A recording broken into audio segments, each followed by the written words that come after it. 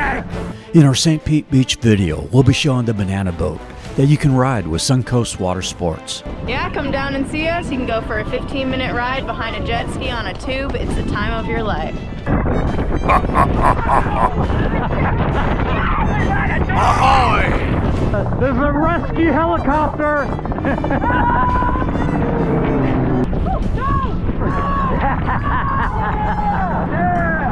I happened to be riding with these four wild teenagers who just wanted to go faster and faster until I had enough and had to kick them off the boat so that I could have it all to myself.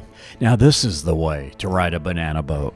Suncoast Water Sports to be featured in our St. Pete Beach 2024 video coming this weekend at Tampa Aerial Media.